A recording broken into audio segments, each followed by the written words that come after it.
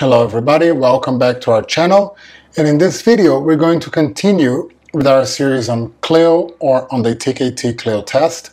For those of you who are teaching in CLIL programs or learning about CLIL or getting ready to take the TKT CLIL test from Cambridge. Um, in this video in particular, we're going to talk about meeting language demands. So what are we talking about here? So let's jump straight into the video so we can understand.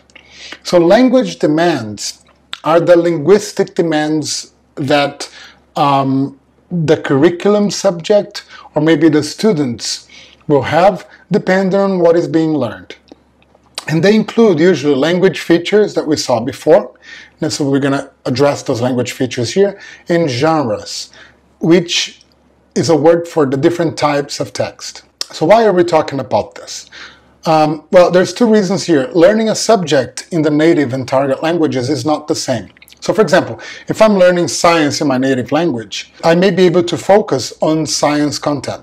But if I'm learning science in English, and English is not my, my native language, I may need to learn some of the language of English that will allow me to express what, what I'm learning in science right? So this is um, this is why it's it's, impo it's important for us to be teaching genres and language features. Um, also, different subjects have different language demands. Okay, so one genre that may be activated a lot in a math class may not be activated in a science or a geography or an economics class, etc.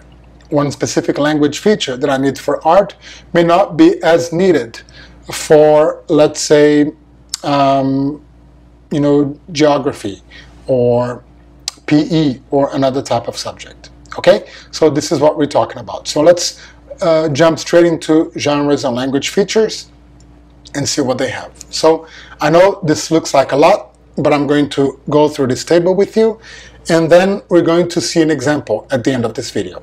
So here this table has three basic columns, genre, purpose, and example. So which genre are we talking about? What's the purpose of this genre? And what's an example? So um, if the genre is discussion, right, uh, my students may need to present arguments. So for example, if I'm discussing animal rights, if I'm having a discussion in the classroom, this is an example of when I'm going to using the genre. Explanation is another genre. Um, the students may need to provide reasons. So for example, when they explain why lightning happens. A procedure is a genre. So because I may need to instruct how to do or make something. So how to make uh, a cake or how to conduct an experiment, for example. And so an example is listing the steps of a recipe. Persuasion is another genre because I may need to convince someone when I'm creating an ad for a service or an ad for a cause, right? Or a brochure for a campaign. I may need persuasion as a genre here. Recounting and writing biographies or putting together biographies. I may need to I may need to do that to retell past events or things that happen. So retelling how something was done, how somebody lived their life, a famous person, for example, those are examples of this genre. Um, reports are another genre because they're used to present facts. If I'm describing an experiment, for example, which also may be involved in the genre procedure as we talked about before. And narratives because I may need narratives to entertain and inform. So for example, if I'm telling a story or a folk story. So those are examples of genres. So let's look at the language features associated with the genres.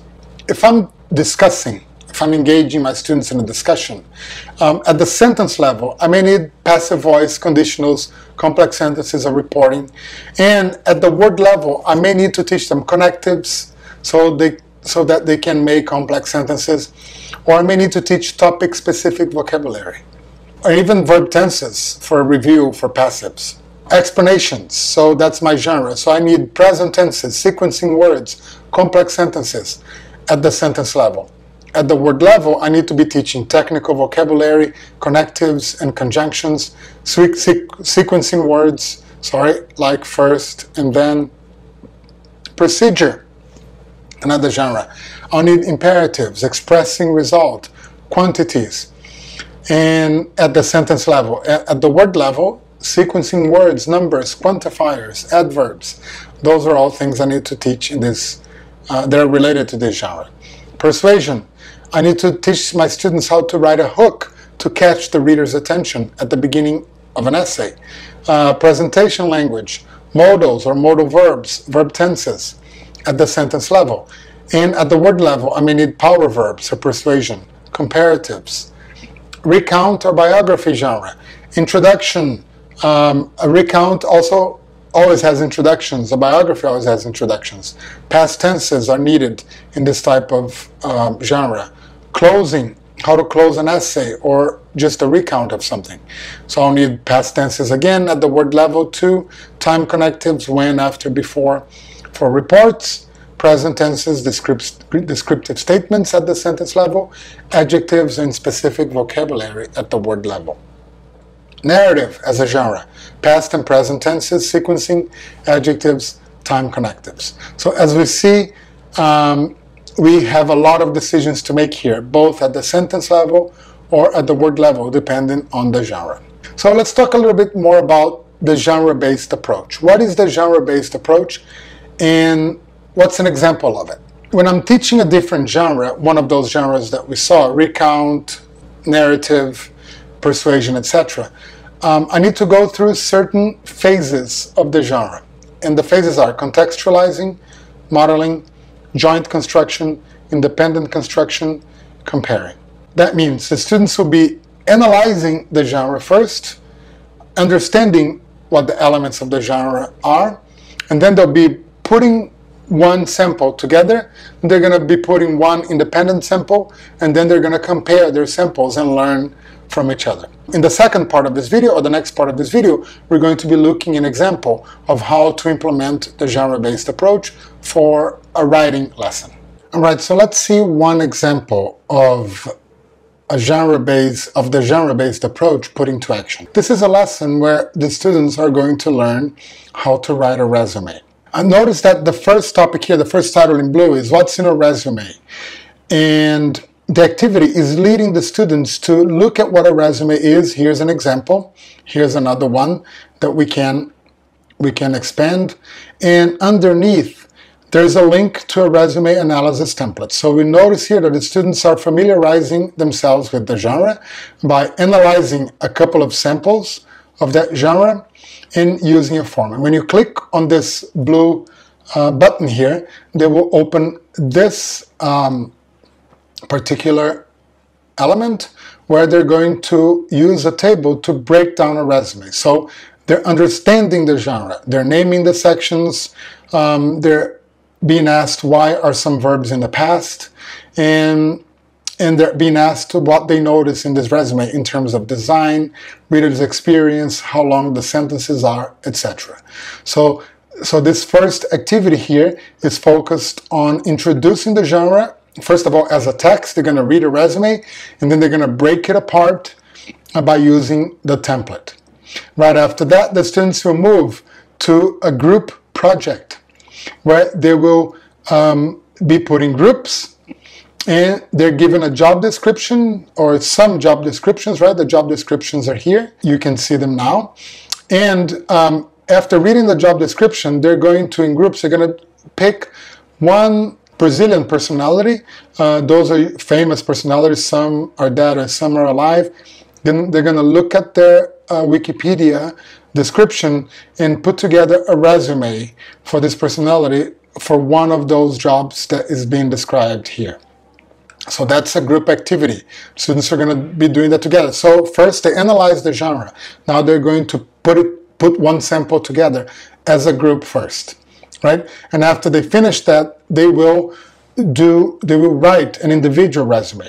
So this page here invites them to uh, look at some resume designs, look at some free templates, and by using a rubric, they'll be putting one together.